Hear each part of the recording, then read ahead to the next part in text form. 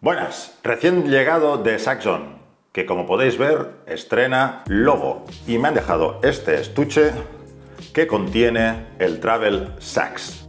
Algunos habréis oído hablar de él, para los que no lo hayáis hecho, el Travel Sax surge de la idea de su creador de tener un instrumento para poder practicar en horas intempestivas o cuando iba de viaje. Y lo que crea es lo que vais a ver ahora. Es un aparato hecho con impresora 3D, lo saco con cuidado tal como dicen las instrucciones, que emula toda la digitación de un saxofón en versión mini. Tengo que deciros que yo estuve en la presentación del primer modelo comercializado de este instrumento. Estuvimos unos cuantos haciendo pruebas y analizando a ver cómo funcionaba y qué se podía mejorar. También le dimos unas cuantas indicaciones de los que nos parecía a nosotros que podía mejorarse. Una de las cosas que recuerdo que yo comenté es que había muchas llaves que daba la sensación de que mm, al pulsarlas no había tope y que eran bastante como que daban la sensación de que se podían apretar hasta llegarlas a torcer o romper. Y ese aspecto tengo que reconocer que en su gran mayoría lo han solucionado porque este problema estaba sobre todo situado en las llaves de graves. Pero vamos a ir por partes. Primero, os enseño todo lo que es el mecanismo y lo que lleva el, paquete de Travel Sax para sus conexiones y para que funcione. ¿Vale? En la parte de arriba de la tapa del estuche tenemos nos viene con una boquilla, con una caña. Cualquier boquilla, cualquier caña puede servirnos, porque de hecho la caña no hace ninguna función especial de vibración. Luego os explico por qué. ¿Qué más tenemos? Una bolsa con adaptadores por ejemplo, este es de barítono, que si queremos colocar, en vez de una boquilla de saxo alto, que es el tamaño que viene, queremos colocar una de barítono, tenemos que encajarla aquí. Está la original, que es para saxo alto, luego está la de soprano, la de barítono y la de tenor, que la tengo con la boquilla de tenor, que es con la que seguramente haré las pruebas. Una gamuza para limpiarlo y un cable USB-C, que es el que va conectado para la carga del instrumento. Importante, es un cable de carga, a menos este, el que, el que me ha venido en este estuche, es un cable de carga, no es un cable que pueda transmitir datos. Cuando hagamos las pruebas de conexión con el PC, os explicaré qué diferencia hay entre este cable y el que debéis utilizar para que podáis transmitir los datos MIDI hacia el PC y que suene a través del ordenador. Vale, seguimos con el instrumento. Como podéis ver, aquí tenéis todas las digitaciones. Sol sostenido, do sostenido, si, si bemol, los agudos, aquí haría el re, re sostenido, fa, los laterales, la argolla, para colgarlo si se quiere, aunque solo pesa 300 gramos, la llave de octava, el T esto hace función de TF, de Fa sostenido agudo, y como podéis ver es todo el mismo mecanismo que también acciona el Mi bemol. Digitación, a ver si lo oís. Tiene movimiento, vais a verlo. ¿Veis? Este es el movimiento que tiene.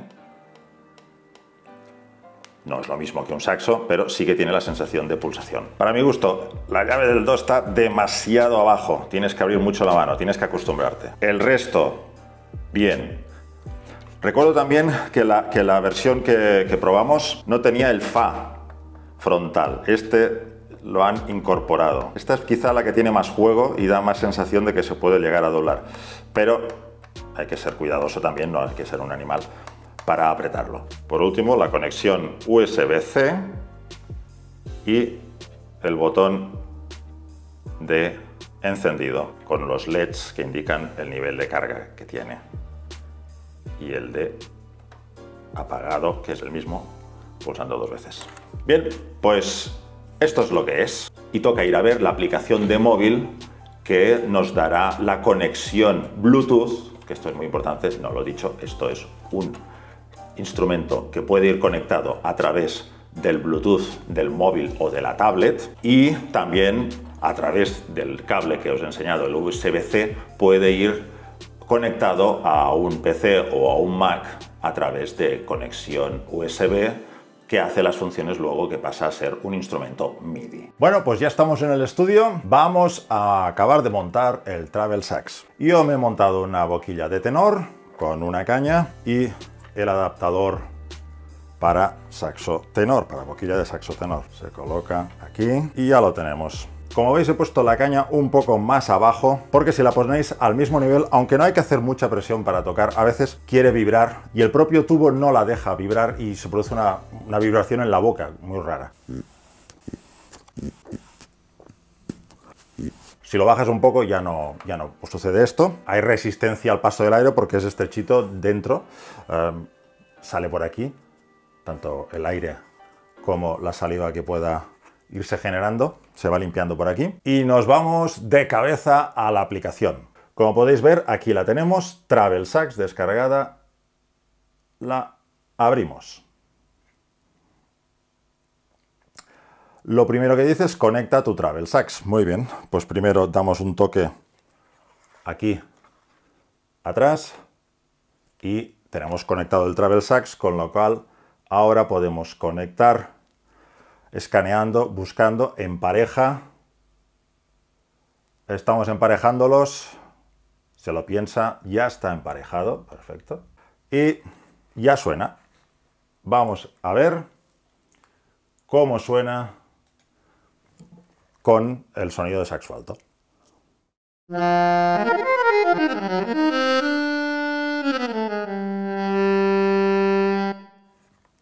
Saxo tenor.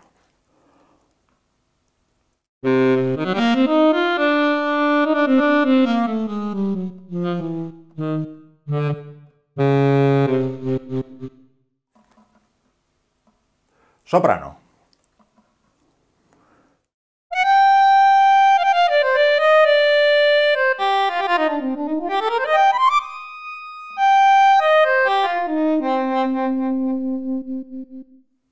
Deciros que los samples que se han utilizado para estos saxofones los grabó Gilbert Fortuny. Aunque la calidad del sonido depende del sintetizador. O sea, esto es un sampler, que es una especie de sintetizador que coge los audios y los mm, procesa de tal manera que se puedan luego hacer diferentes notas y se pueda ah, interactuar con el instrumento. Estaréis escuchando algo. Sonido de llaves es una peculiaridad que le han puesto a este, a este programa. Vamos a entrar en la, en la aplicación para configurarla a nuestro gusto y para ver todas las posibilidades que tiene tocar el Travel Sax mediante la aplicación. Vamos aquí arriba, a la derecha y apretamos aquí. Vemos, hemos ido hacia abajo del todo, ahora está en los valores predeterminados y tenemos latencia. ¿Qué es la latencia? ¿Sabéis lo que es la latencia? La latencia es el tiempo que tarda en comunicarse el Bluetooth del instrumento con el del móvil que estéis usando. Hay un tiempo de respuesta. Mediante procesos que ignoro, se puede aumentar y disminuir esta latencia, este espacio en, que está medido en milisegundos. Pero claro, ah, si tocamos a partir de 50-100 milisegundos de retraso, ya se nos hace muy, muy difícil tocar. El constructor del Travel Sack dice que se pueden llegar a unas latencias entre 8 y 10 milisegundos lo cual mm, para nuestra digitación y para el oído humano ah, es prácticamente imperceptible. Hay tres niveles, bajo, medio y alto. ¿Qué quiere decir esto? ¿Por qué no lo ponemos siempre en bajo y nos ahorramos mm, problemas? Pues esto dependerá de la potencia del móvil que tengamos y lo optimizado que esté para trabajar con el Travel Sax. Hablando de ello, el Travel Sax tanto se puede tocar con sistema operativo iOS, con iPhones, con iPads, que con sistemas Android y con tablets. Según lo que me han dicho, está muy bien optimizado para iOS, eh, se puede utilizar con GarageBand, por ejemplo, luego ya veremos todo lo que es ah, la utilización eh, vía USB hacia un ordenador. Lo he probado en tres móviles y una tablet y mm, no he tenido problemas de conectividad con ninguno de ellos. Son de, edades diferentes, son desde el 2015 creo ah, hasta, hasta de hace tres meses. Y en cuanto a conectividad, no me ha dado ningún problema.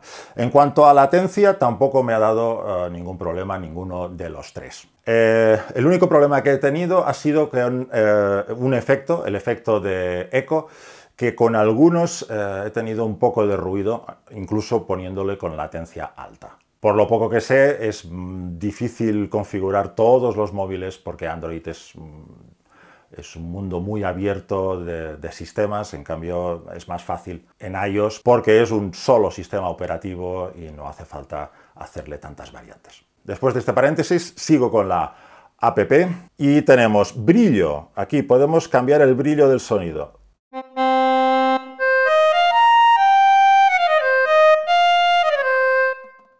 Lo podemos cambiar y lo podemos poner a tope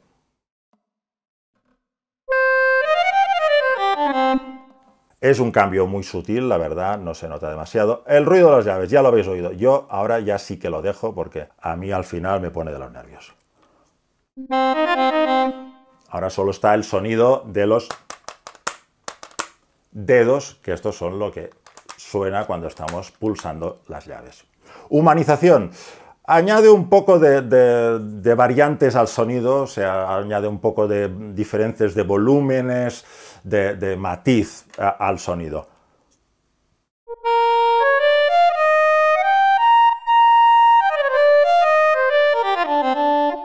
Tienes un poco más de sensibilidad. Vamos a dejarlo más abajo. Vibrato. Tenemos el vibrato normal en la nota. Vamos a ponerlo a tope.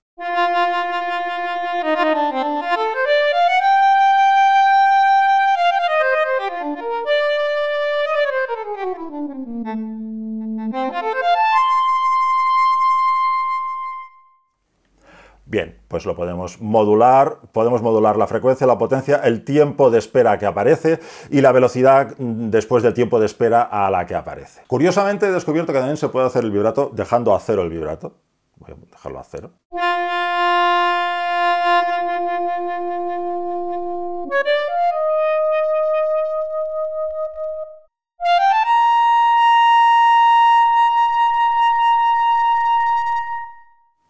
Como si hicieras el vibrato igual que tocando el saxo.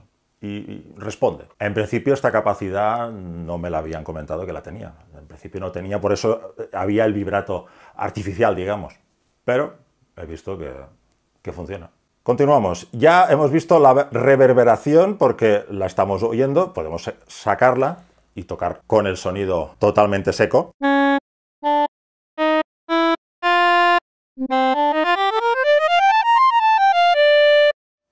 y se le puede poner el tamaño de la sala que queramos, catedralicio.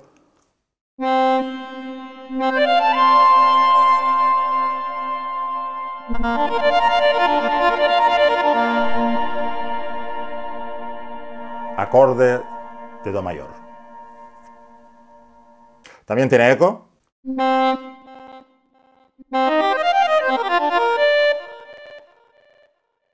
Y ganancia, la ganancia es mm, para que suene más fuerte, evidentemente, sobre todo si te dice, si estás tocando con una aplicación dentro del mismo móvil, si encuentras que suena flojo respecto a la otra aplicación, por ejemplo un Play Along, eh, lo que sea, pues le das a la ganancia y tienes este plus de volumen.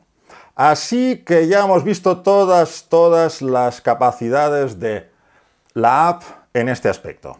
Si nos fijamos, tenemos tocar, que son los instrumentos que hemos visto antes, Aquí tenemos una curiosidad, es hola, ¿qué tal? Te puedes grabar mientras tocas. Aquí tenemos nuestra agenda de estudio, ir apuntando lo que estamos trabajando. Y aquí tutoriales varios, la digitación de todas las notas. Deciros que, que también están digitados los sobreagudos, no solo llega al, al Fa sostenido. Volvemos a la pantalla principal. Al lado donde pone Conecta tu Travel Sax, aquí esta ruedecita, vamos a entrar y te dice que si lo tienes encendido lo apagues y, lo vuelvas a conectar y si lo tenías apagado como yo ahora, lo conectes otra vez, pulses OK, te busca el Travel y aquí sale la configuración interna del Travel Sax. Con esto podemos hacer que transporte. La aplicación viene por defecto con el saxo en mi bemol, en mi bemol, o sea, tú tocas como si estuvieras tocando en mi bemol y el tenor y el soprano en si bemol como debe ser. Pero aquí puedes cambiar la afinación del instrumento. La resistencia al soplido, la respuesta al soplido y la sensibilidad de las llaves. Esto quedará grabado en el interior del instrumento y cuando queramos tocar en el ordenador, por ejemplo, esto se mantendrá. Si, por ejemplo, hemos cambiado la afinación del instrumento y lo hemos puesto como si estuviera afinado en Do, cuando lo conectemos también saldrá afinado en Do. Estos parámetros que salen en la pantalla se quedan fijos. Siempre podemos restaurar los valores predeterminados, los aplicamos, así no hay líos y volvemos para atrás. Vuelvo a conectar emparejar. Como podéis ver, todo esto va muy rápido, no hay problemas. También al cargar el instrumento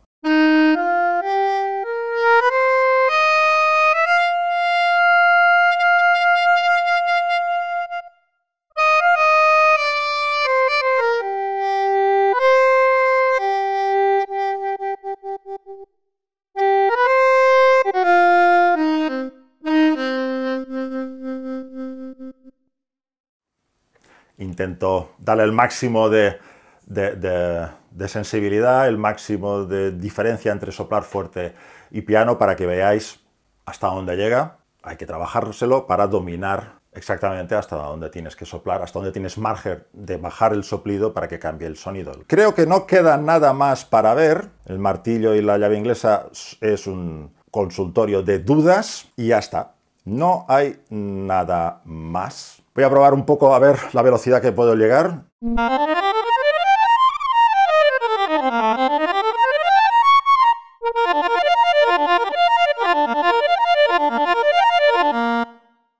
Ligado va muy fluido. Vamos a ver con el picado.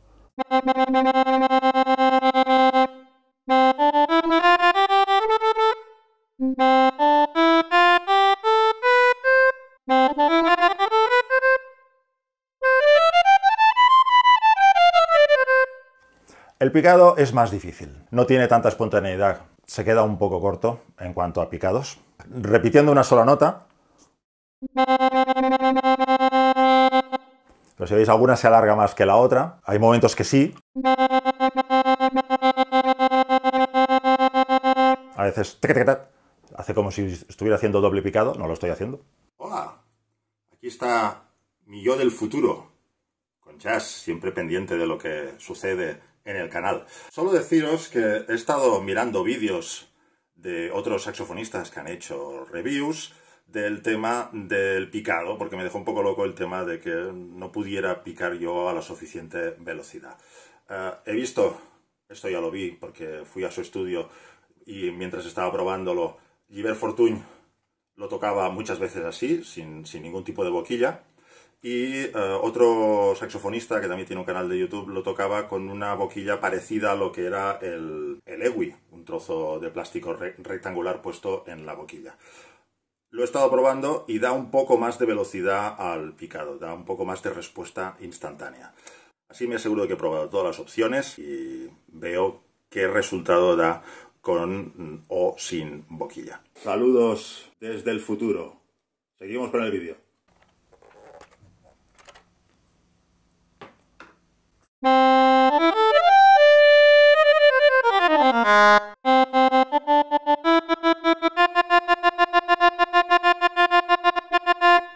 Espero no haberme dejado nada en el apartado de la app. Creo que lo hemos repasado todo, todas las opciones que tiene. Así, si algún día alguno de vosotros tiene uno por la mano, si veis este vídeo, creo que habré solucionado todas las dudas y abarcar todos los parámetros que se pueden modificar. A día de hoy, sé que siguen trabajando en el desarrollo de este instrumento. Por ejemplo, eh, creo haber leído que están intentando hacer algo para poder hacer bendings, que otros emuladores sí que pueden hacer y en cambio este todavía no, y otras variantes que se irán implementando seguramente a través de firmware, a través de la app, a los que se puedan, pero el caso es que el Travel Sax sigue en evolución. Y ahora me voy directamente al tercer punto de esta review, en profundidad, como estáis viendo, porque me iré al ordenador. Así que doy un salto y cambio de escenario. Bien, pues aquí estoy de nuevo. Ya me he cambiado a la mesa con el ordenador para mostraros cómo funciona el Travel Sax enchufado mediante cable USB y directamente a un programa de edición de partituras o un programa de composición musical a base de MIDI. Lo primero, recordaros que el cable que viene suministrado es un cable más finito que solo sirve para cargar el Travel Sax. Hay que utilizar uno que aparte de cargar también transmita datos. Hay que decir que muchos de los cables que vienen con los móviles, con los cargadores, transmiten también datos. Lo conecto al puerto de los USB y luego aquí lo conecto en la ranura del USB-C, con lo cual si os fijáis está cargando el Travel Sax a la vez que podremos eh, utilizarlo. Bien, pues voy a abrir el programa. Es un ejemplo de la conectividad que tiene este aparato. Mm, se puede conectar a todos los programas que tengan admisión para instrumentos virtuales y que tengan admisión para un controlador MIDI tanto para Mac como para PC. Ya lo tenemos conectado. He puesto un plugin de, de piano para que lo podáis ver y oír.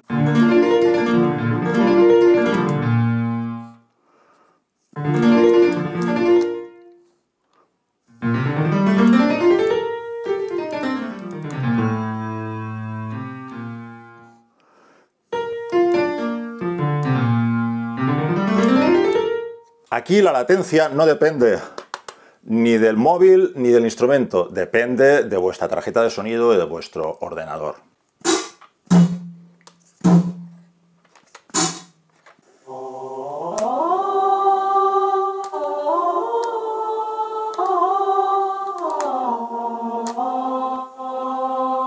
O podemos poner un coro.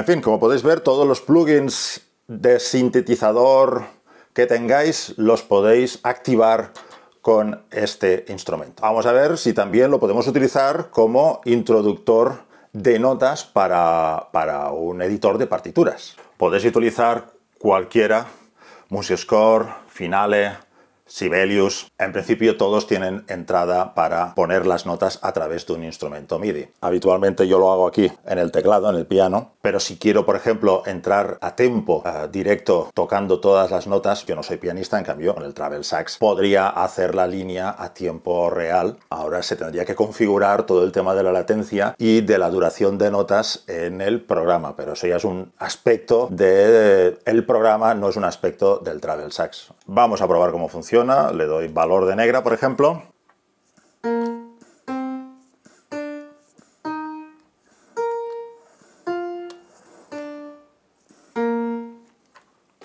¿Veis? Podéis introducirlas una por una. No sé si se ha notado que cuando yo soplo tarda algunas décimas de segundo en aparecer el sonido, eso es normal si no se configura el programa adecuadamente. También habréis podido ver que lo que he estado grabando, do, re, mi, fa, sol, y aquí salía si, do, re, mi. ¿Por qué? Pues porque la configuración del Travel Sax la tengo como estaba de fábrica, por lo tanto, esto estaba en si bemol, no en do. Para entrar en esa configuración, volved atrás en el vídeo y en la y en el apartado de configuración del instrumento veréis que podéis cambiarle la afinación al tono que vosotros os vaya mejor. Bueno, pues hasta aquí todo lo que os puedo contar de este pequeñín. A mi parecer, actualmente hay como tres grupos de controladores MIDI de viento, al menos los que yo conozco y los que se ven más por redes y se ven más en canales de YouTube y se hace más publicidad de ellos. Uno serían los Akai EWI, que tienen un sistema propio que es el de sensores sin movimiento. La electricidad del cuerpo humano es la que activa eh, los sensores y hace que produzca el sonido. El EWI, aunque en sus principios, ya hablamos de los 80, se hablaba de un saxofón electrónico, para mí no lo es. El EWI en sí es un instrumento electrónico que lo pueden tocar instrumentistas de viento, de diferentes instrumentos de viento actualmente, porque tiene digitación desde la trompeta, el saxo, la flauta, el oboe, clarinete, los puedes modificar y tiene 8 octavas. Si no los habéis visto, yo he hecho ya dos reviews de, los EWI. Hice primero eh, uno de un EWI 5000 que tenía en ese momento y di mi opinión entre el 5000 y, y el 4000, que también lo conocía pero no lo tenía para hacer la prueba. Y después también hice la review de uno que me compré que era del estilo que utilizaba a Michael Brecker, aunque Michael Brecker siempre utilizaba prototipos que le hacían uh, expresamente para él, pero que es de la misma época, el EWI 3000. Luego tendríamos otro grupo, el grupo de los Roland que ha hecho varios modelos, que sí que tiene ya una forma y una disposición más parecida al saxo, sobre todo en su modelo superior, y que es un sistema que yo lo llamaría de botones. Tiene movimiento, pero clic, clic, clic, clic solo. Y luego estarían el grupo donde está el Travel Sax y que por lo que he visto, aunque no lo he probado, también sería el del nuevo Yamaha eh, YDS-150, me parece que es este el nombre, que ya intentan emular al máximo la digitación, la posición de todas las notas con más movimiento. Evidentemente no es el movimiento de un saxo normal y corriente, es mucho menor pero sí que te da la sensación de ir apretándolo, y eso ya lo he dicho. Como no los he probado, no voy a hablar de ellos y nos vamos a centrar en el Travel Sax, para que puede servir, según mi opinión, el travel sax. Por si eres un aficionado al saxofón, eh, estás en un nivel de iniciación e intermedio y mm, te vas de viaje y quieres llevártelo para practicar digitación. Incluso si tienes más nivel, y necesitas practicar digitación y no tienes el saxo a mano, pues puedes practicarlo. ¿Qué no vas a practicar? No vas a practicar embocadura, aunque la tenga puesta. Las presiones que hay que hacer para tocar no son las del saxo. Tú no necesitas hacer más presión ni dar más fuerza al aire ni al labio para tocar los sobreagudos que tiene en posiciones este instrumento. Por lo tanto, el labio y la embocadura no lo estás trabajando. El estacato mm, se queda un poco corto, por lo tanto, si quieres trabajar estudios de estacato, la sensación no es la misma que cuando tocas un, un instrumento. Puedes trabajarlo lentamente, pero adquirir velocidad de crucero según qué velocidades no, no llegarás. Es un buen sustituto de los teclados MIDI para la gente que no sabe tocar el piano y quiere introducir notas en el ordenador o no tiene piano directamente electrónico con, MIDI y las introduce las notas, por ejemplo, en un editor a través del teclado QWERTY. Vale, esto será mucho más rápido y mucho más eficaz a la hora de entrar esas notas. Con los sonidos que hay en la app, pues podemos tocar para nosotros mismos, pero son unos sonidos bastante limitados. La expansión de sonoridad y de expresividad nos la puede dar enchufándolo a un ordenador con un software que tenga sonidos, con samplers que lleven a un nivel superior eh, los sonidos de saxos mismos si tienen o de cualquier otro instrumento, podremos tocarlo con este instrumento. Si queremos componer melodías, si queremos probar algo con un sonido, con otro. La conectividad con el ordenador ni con los móviles ofrece ningún tipo de problema. Los encuentra automáticamente, se conecta bien, funciona bien, siempre y cuando luego dependemos de nuestro hardware y del programa en que estemos utilizando, pero son no es culpa del Travel Sax. No he hecho muchas melodías, no os he demostrado todo, todo, todo lo que puede dar de ello, porque si vais a la página web de odysseymusic.com y entráis, encontraréis cantidad de vídeos de saxofonistas que lo han tocado y que han puesto sonidos para covers, etc. Y allí podréis escuchar cómo se desenvuelve. Yo más o menos lo que he querido es que vierais los límites que tiene en cuanto a todos los apartados técnicos y hacer un vídeo lo más completo posible analizando al detalle todo lo que da este instrumento. Pues bueno, espero haber aclarado todos los detalles del Travel Sax y que veáis claramente para lo que os puede servir este instrumento. Yo mientras sigo indagando en el mundo del saxo y sus complementos y apunto ya, si todo sigue como ahora mismo, de ir al Andorra Sax Fest a ver lo que allí se cuece y a mostraros lo más interesante que ahí vaya sucediendo. Mientras, sed felices, practicad y hasta la próxima.